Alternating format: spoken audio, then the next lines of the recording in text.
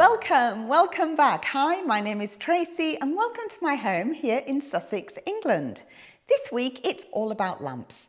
We all love a lamp, we all have a lamp. They can be very expensive to buy and as our decor tastes change, we really don't want to be spending lots of money on them. So this week it's all about making over the lamps that we already have. I'm going to be showing you a few different techniques that I use to breathe a whole new lease of life into the lamps that I already have. So first up is a lamp that I've had living in the kitchen for the last few years. If you saw my recent video on kitchen decorating, you'll have seen me take it out. Now this used to be very sparkly, very silver, very luxe, and it lived in the corner of my kitchen in my last house. When we did the renovations here, I decided I was going for a more industrial, rustic vibe. So I stripped it all back, took the covering off the shade and covered it in rust spray, which I've now completely gone off. So it's time for a flip. I do like the shade as it is, but I am going to do something with it. So I'm going to take it off, set it to one side. I'm not going to add fabric to it though. Normally the flex I'd protect by putting into a bag, taping up, but I don't need to do that because I'm going to do something else. My favourite wall filler is out. It's a rapid set, so it should go off pretty quickly. The soil, I'm going to be using this, the cayenne pepper, which is quite a new ingredient for me, chilies, which I introduced on my last video.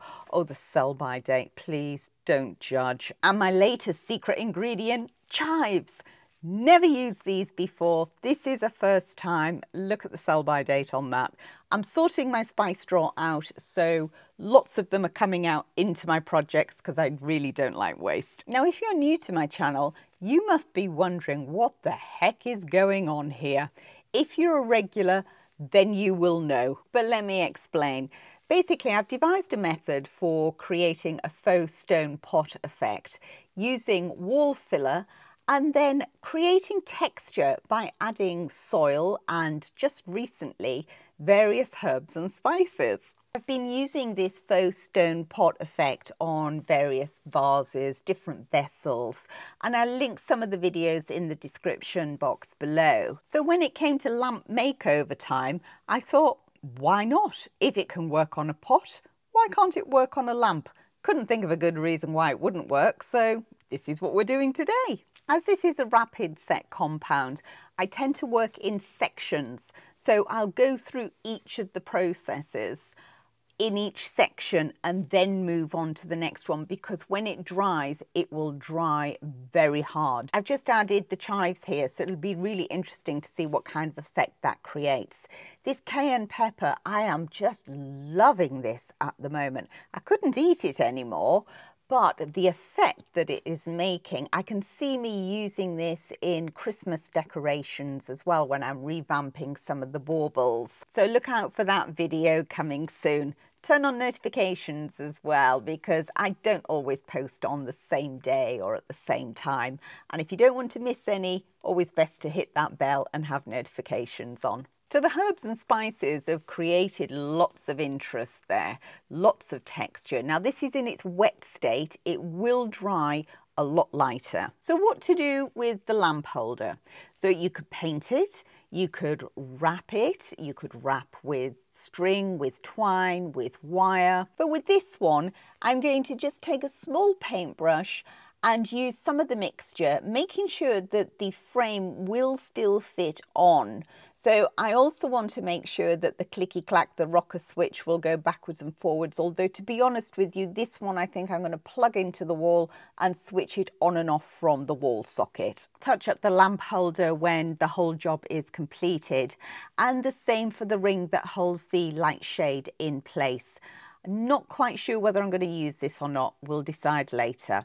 Having left this to dry overnight, I've woken up to a typical English summer, pouring with rain. So it's into the kitchen we go for the next stage. Now, if you're a regular viewer, you'll know that I don't like flexes and I do like to hide them. I like to wrap them with string, with coir. You could also use wool, you could use yarn. Uh, there's great faux wools out at the moment, which would look lovely wrapped around a flex. You know, I like to take the flex and use it as a feature rather than trying to hide it. I'm going to use coir for this lamp because it's quite a chunky lamp, so therefore I want a really chunky twine. I start by making sure I've got a good strong end, so if there are any wispy loose fibres, just snip those off, but keep them in a pile though, because if you ever get any gaps, you can always use those to fill in. With the glue gun, I start by putting quite a bit of glue at the beginning to get a really strong fixing and wrapping it tightly around the flex. And I keep pushing up as well because you don't want to see any of the flex showing through. And that is pretty much it. You just wrap and wrap and wrap until you come to the end.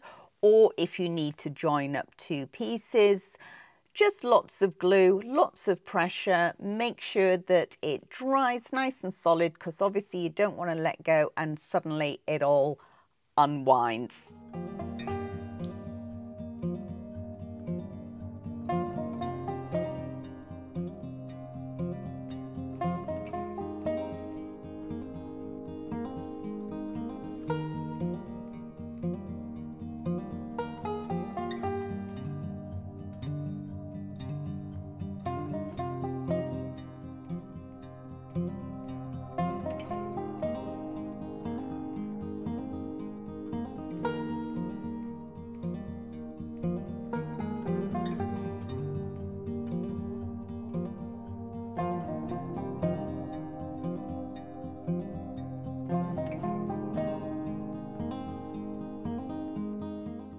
And this wrapping technique is not just for flexes.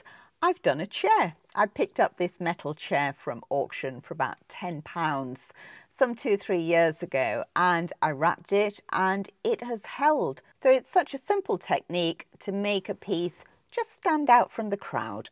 Onto the light shade. Yes, you've probably guessed I am going to wrap that as well. It's a great way to use up all those odds and sods, all those little bits of leftover material. The reason being is that you've got quite short runs, so you can work in any sequence that suits. And it's exactly the same technique.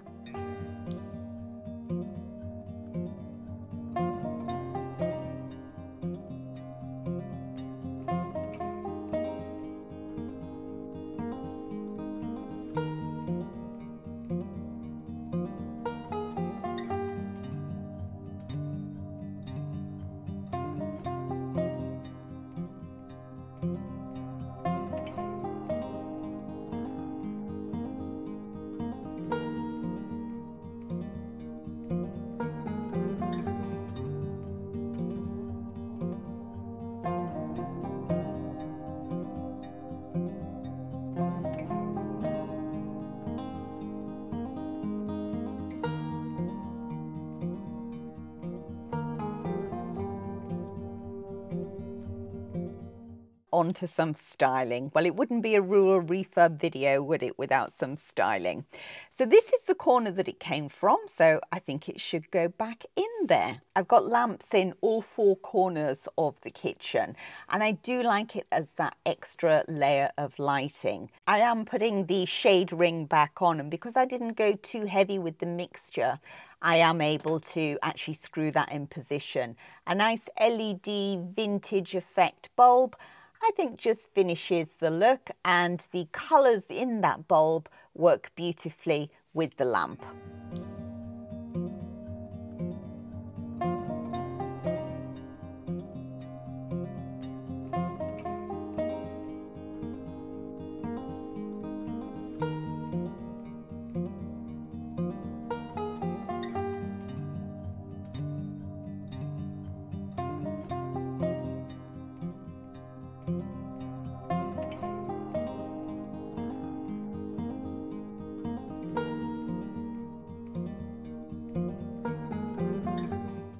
As the lamp is creating such a statement at the other end of the dresser, the hutch, this arrangement here, this vignette, just looks too small and too bitty, so it's got to come off.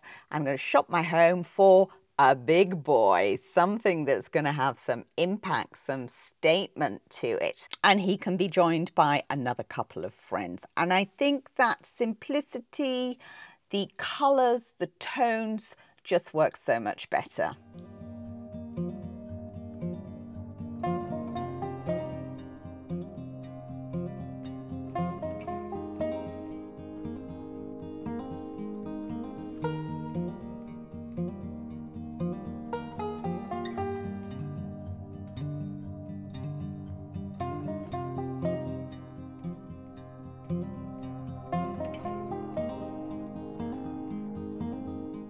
And for those of you that saw my last kitchen decorating video, you'll know that a few things have switched around. So the hutch is styled slightly differently.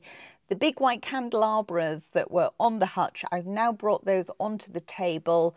The hydrangea has gone back out into the garden and Big Mo, Mahogany Mo, is pretty much dressed exactly the same. And if you missed that video, I'll link it in the description below. On to the next lamp. This little silver number was picked up at TK Maxx some years ago and it's used as a bedroom lamp. It's not my colourway anymore, so it is time for a change. I am going to use a different technique on this. I'm not 100% sure which way I'm going to go, but the flex will be wrapped. Do know I don't want to be able to see any silver, so I am going to give it a spray. I've got an old can of black gloss acrylic lacquer. So after I pop some tape in over the electrodes, because obviously I don't want any spray in there, I'm going to blow it over with the black paint. Now, this is gloss. Oh, I've had it for years and years. I'm terrible. I just hate waste. So it's a great way to use up old paint. But if you're going out to buy paint, I would say go with matte. I think matte just gives a better finish and forms a better base. Now I'm going to go over the black paint with some rub and buff and to get into all those little fiddly areas I've got an old paintbrush as well. Now you can wear gloves to do this. You could do this with a cloth or you can use your fingers. It will come off if you wash with warm soapy water. It won't come off with cold water. Now I'm not trying to go for absolutely 100% full coverage with the rub and buff. I want a few little bits of that black to show through. If you wanted it completely gold, then I would suggest you just use spray. Oh, the pepper's out again. I just love this stuff. This is a complete experiment. You are with me on this journey. I don't know if this is going to work, but I'm trying to dab in some of the pepper just to create that build-up of rust that you see. But it's not working too well because the rub and buff is drying so quickly. But anyway, I'm going to push on and let's just see where we get to.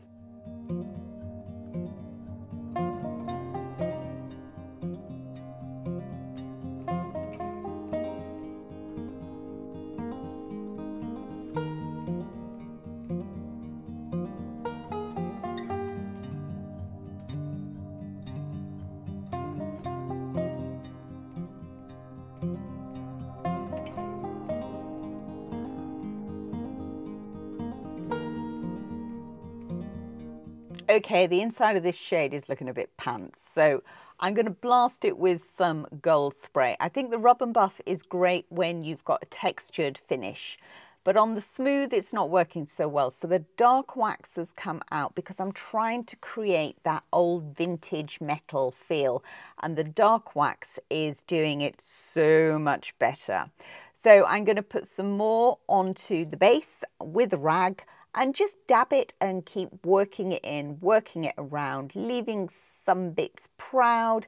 I'm not rubbing in hard because I don't want to buff the rub and buff. I don't want it shiny and I'm not giving up on the cayenne pepper. I'm going to sprinkle it and let it dry overnight. The outside of the shade is taking the rub and buff quite well because there is a slight texture to it. So I'm going to finish that with the wax and then I'm going to leave the whole thing to dry overnight and then we're going to start working on the flex. This time I'm going with a much thinner coir because it's a much smaller lamp. In theory, I could have gone with something much thinner, but I do like things quite chunky. So I'm quite happy with the compromise on this one.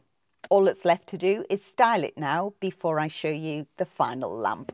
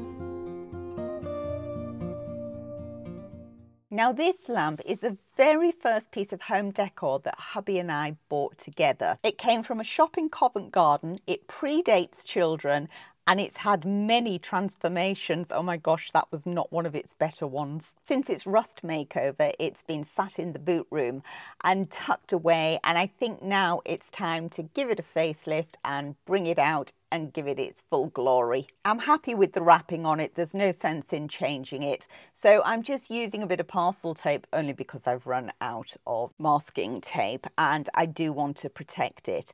I'm going to go over with my faux stone mix and so by now you are complete professionals. You know exactly what I'm doing here so I don't need to show you all the stages again. I'm going to leave this to dry overnight, but before I do, I will be removing that parcel tape from around the top. I'll just run a blade around the edge and ease it off. I did also bag up the cord in order to keep it clean. So now the big question, where to put it?